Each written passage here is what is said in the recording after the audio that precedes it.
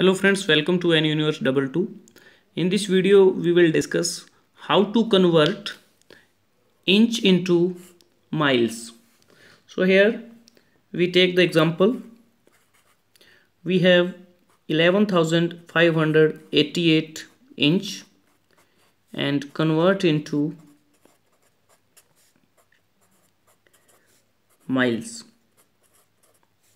So before converting into miles, firstly we know the uh, conversion uh, conversion fractions and conversion we can say conversion factor.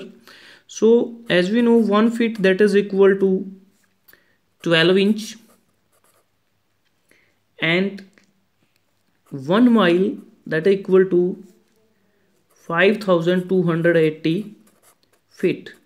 So this is the conversion factor conversion factor.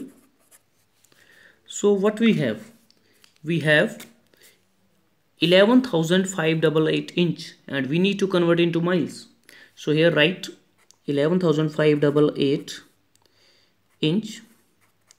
So according to the conversion we need to convert firstly inch into feet and fit then into miles.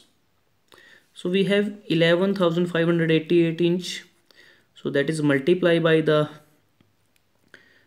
conversion fraction feet at the top and inch at the bottom. And as we know 1 feet that is equal to 12 inch. So cancel the inch.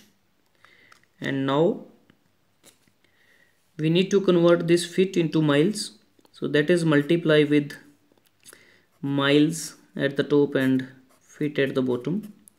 And uh, 1 mile that is equal to 5280 feet. So that cancel out the common term that is the feet. Now we have 11588 uh, that is divided by 12 and 5280 and finally we get 0.182 miles so this is the conversion of inch into miles. If you like this video share with your friends and students. Thanks for watching. And don't forget to subscribe Anuniverse double two. Thank you. Have a nice day